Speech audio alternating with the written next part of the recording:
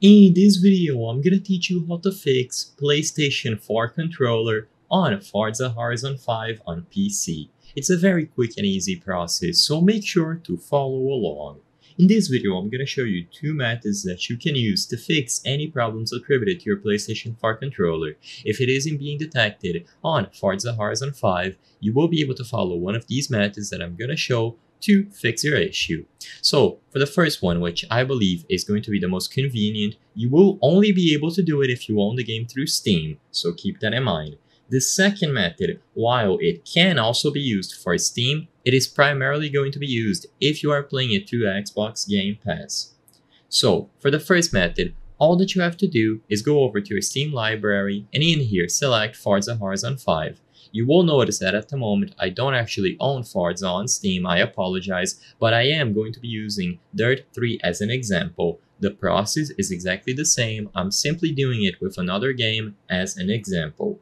So when you find Forza on your Steam library, right click it and then go to the properties. On the properties for Forza, go into the controller options and in here you need to make sure that Steam input is enabled.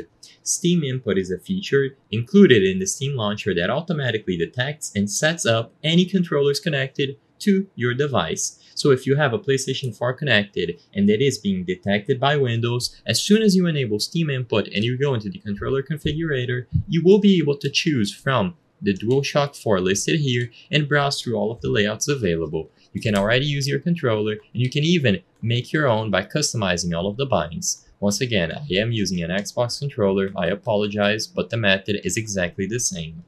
Once you are done with this, just start the game, and as long as Steam input is enabled, it is going to work natively if you run the game through Steam.